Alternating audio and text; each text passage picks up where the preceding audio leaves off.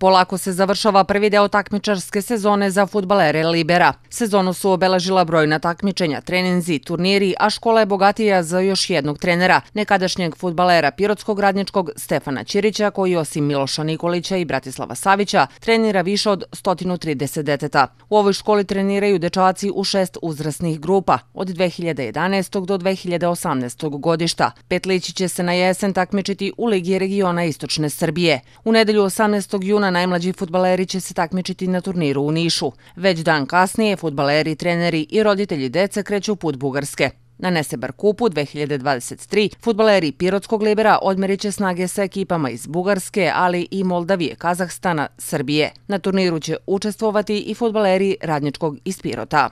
Ove godine je stvarno ve, mnogo veliko interesovanje. Idemo 60 deteta i 27 odraslih roditelja. Tako da prijavili smo pet ekipa, učestvujemo sa generacijama dečaka 2012. 13. 2014. 2015. i čak smo prijavili one najmanje 2016. 17. godište i uh, jedan lep turnir, lepa organizacija i kao što smo i prošle godine najavljivali, ova godina će, ja mislim, biti još uspešnija što se tiče naše škole. Nikolić kaže da je dobro što u Pirotu rade dve privatne škole futbala. Otvorena je nova škola uh, United, Andrej Rejčević.